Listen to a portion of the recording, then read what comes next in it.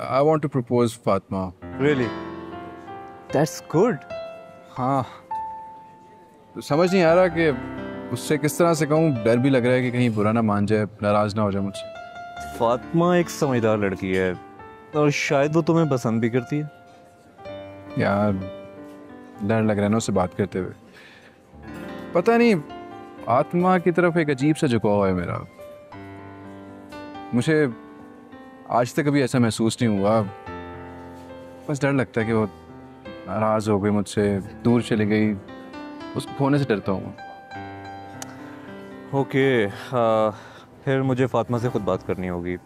मैं देखता हूँ उसके दिल में क्या है तुम्हारे लिए। फिर बात को आगे बढ़ाते हैं। करोगे बात? ऑब्वियसली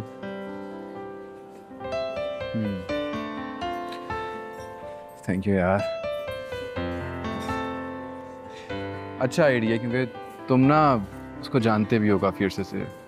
तुमसे बातें शेयर भी करती है। You are more than a friend to me यार। Just like my brother thank you अमार अब मुझे फातिमा से बात करनी होगी। ज़रा देखें उसके दिल में क्या है तुम्हारे लिए। वैसे भी बचपन से फातिमा का तुम्हारे घर आना जाना है तो तुम्हारी फैमिली भी उसे अपनी समझती है।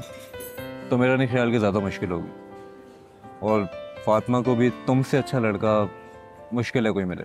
चलो मेरा आधा काम तो हो ही जाएगा। ज़रूर। Wish me good luck best of thank you वैसे तुम क्यों नहीं सोचती अमार के बारे में? एक अच्छा लड़का है एक अच्छा रिश्ता है। अगर हाथ से निकल जाएगा तो फिर अफसोस करोगी।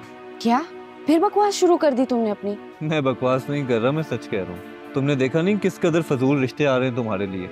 उन सब लड़कों में से अमार तो काफ़ी बेहतर है। तुम अम्मार की वकालत करना बंद करोगे ओके मैं बंद कर देता हूँ अगर तुम सोचना शुरू करोगी तो। ठीक है सोच लेती हूँ तुम्हारे अम्मार के बारे में। बताओ क्या इशू है तुम्हें?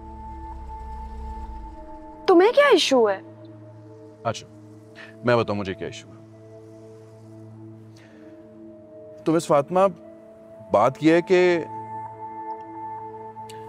will you marry me what हाँ शादी करोगे मुझसे? और देखो अगर तुमने शादी नहीं करनी ना तो कोई वैलिड सा रीजन देना ताकि मैं अपने आप को समझा सकूँ कि हाँ ठीक है इस वजह से तुमने शादी नहीं की।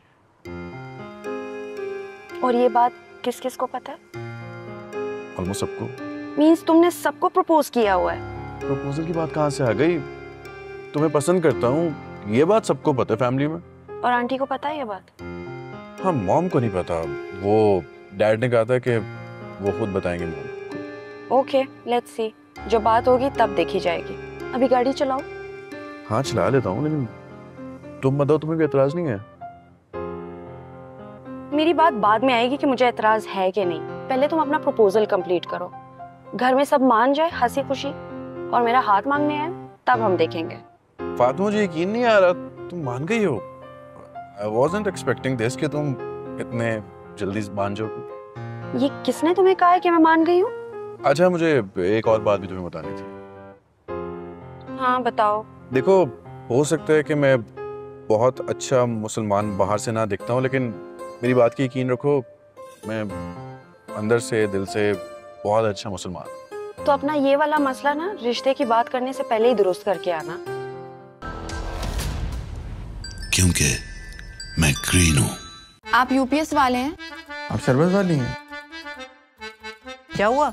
अम्मी आइंदा मैं चाय शरबत बना बना के सबको नहीं पिलाऊँगी। पूरी दुनिया मुझे चाय शरबत वाली कहने लगी है। ये कंप्यूटर भी दिखवाना था। कंप्यूटर ले जाने की क्या ज़रूरत है कंप्यूटर आपको वापस नहीं करना था। चाय शरबत पीने के लिए तो फटाफट बैठ गए थे। तो चाय शरबत कौन सा अच्छी पिला दिया आपने? कंप्यूटर बेचे कोई स्मार्टफ़ोन तो मिल जाएगा ना? क्या करना है स्मार्टफ़ोन का? क्या करना है आपको जान के? बताएँ मिलेगा कि नहीं? फ़ोन मिल सकता है स्मार्ट नहीं। सुहेल? पूरा खानदान कंप्यूटर मांगेगा मुझसे। देखिए पीछे चुड़ैलों की तरह बैठी है मेरे। हर दिन मेरे सामने आ जाती है। और मेरे लिए रह जाता है ये यूपीएस वाला। इसको ना तो कोई काम ढंग से करना आता है ना वक्त पर। शरबत पिलाए तुम मैं शरबत नहीं पीऊँगा खाला। तो चाय पी ले? कंप्यूटर ठीक हो गया मेरा? हो रहा है आपका कंप्यूटर ठीक हो रहा है। तो आज कंप्यूटर लेकर जाऊँगी।